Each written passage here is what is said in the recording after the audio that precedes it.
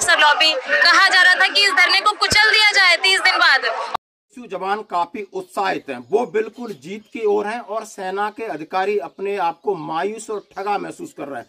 वो सेना के अधिकारी, वो समझते थे कि कोई भी मूवमेंट हो, सेना के अंदर या बाहर, आगे हमने रहना है और इनको कुछ नहीं पता है। आज जवानों ने चाहे टेक्निकल तरीके से हो, चाहे उनके साथ जो आर्थिक भेदभाव हुआ है, चाहे उनके साथ जो दूसरे टाइप के भेदभाव है, उनका शोषण है, उसके खिलाफ उन्होंने जो मुहिम शुरू की है, उसको सुन करके, उसको समझ करके आज उन्हें लग गया है, वो स्वीकार कर चुके हैं। अधिकारी भी नहीं और सरकार भी मन बना चुकी है। आइए इसको सिलसिलेवार तरीके से समझते हैं। जैसे सरकार या गवर्नमेंट ऑफ़ इंडिया एमओडी ने घोषणा की 121 table O R O P two के नाम से, जो बहुत दिनों से विलंब चल रहा था, या सैनिकों और सुप्रीम कोर्ट के बीच का जो युद्ध है, जब बाहर निकल के आता है, उसमें सैनिकों को ठगा महसूस किया जाता है। किसी भी जेसीओ की, किसी भी जवानों की कोई भी पेंशन इंक्रीज नहीं होती है। और उसके बाद मोमेंटम शुरू होता है और तीन तारीख इतिहास बदलने के लिए पूरा पूर्व सैनिक बाहर थे।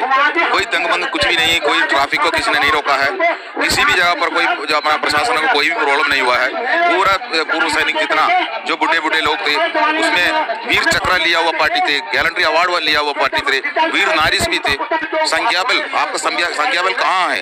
यही हमको हमारे से मज़ाक उठा रहे थे। तो उनको उन्होंने संख्या बल दिखाया तीन तारीख को। चाहे वो बीस फरवरी हो जिस दिन इसकी शुरुआत हुई 12 मार्च को बहुत बड़ा हुजूम हुआ और 3 अप्रैल ने तो दिशा और दशा ही बदल दी। तीन अप्रैल के इस मोमेंटम से हमारे सेना के अधिकारी ठगा महसूस कर रहे हैं कि इतनी एकजुटता और इतना संगठित, इतना रोष, ये आखिर कैसे पैदा हुआ? सरकार भी समझ चुकी है कि इतने सारी चीज़ें, इतने सारे देश के ईस्ट, वेस्ट, नॉर्थ, साउथ सारे संगठन सैनिक जुड़ चुके हैं। आखिर इनके साथ भेदभाव हुआ है। जब पत्रकारों ने वहाँ जंतर मंत्र पर यह सवाल पूछा कि आपके साथ ऐसा क्यों हुआ, यानी अफसर जो टीवी पर बैठकर बड़ी बड़ी बातें करते थे, वो सैनिकों की बातें करते थे, सेना की बातें करते थे, आजकल वो कहाँ छुपे हुए हैं? लेकिन दोस्तों, इसका ये असर हुआ कि आज दबे सुर में बहुत सारे सेना के अधिकारी भी ये मान चुके हैं माननीय प्रधानमंत्री राष्ट्रपति जी को उन्होंने ज्ञापन भी दिया है कि जो जवानों के साथ अनियमितता हुई है, ये देश के लिए सही नहीं है। सेना के मनोबल पर सीधा असर पड़ रहा है, जवानों के मनोबल पर सीधा असर पड़ रहा है। जो जवान रिटायर होके बाहर हैं, वो भी नहीं, जो अंदर हैं, वो भी समझ रहे हैं कि हमारे साथ छलावा हुआ है।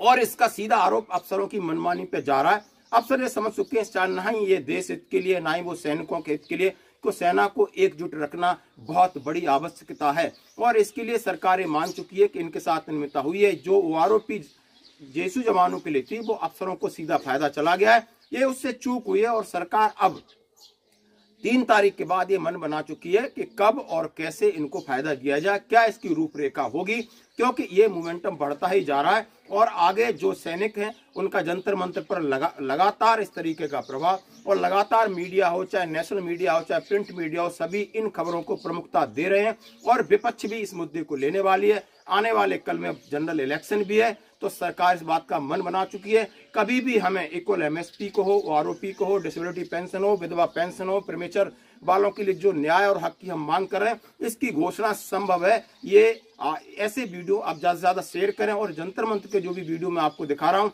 उन्हें ज़्यादा से ज़्यादा शेयर करें। लोगों में एक मैसेज जाए और हमारी जीत सुनिश्चित हो सके। धन्यवाद भारत सरकार के लिए सोचने की बात है। सैनिक और सेनाधिकारी बढ़ गया है। बहुत गंभीर मुद्दा है।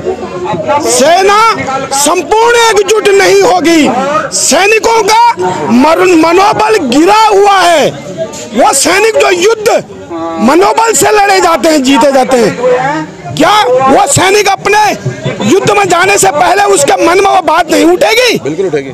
कि मेरा तुमने धरातल पाताल लोग पहुँचा दिया है मेरी पेंशन और मेरे पेश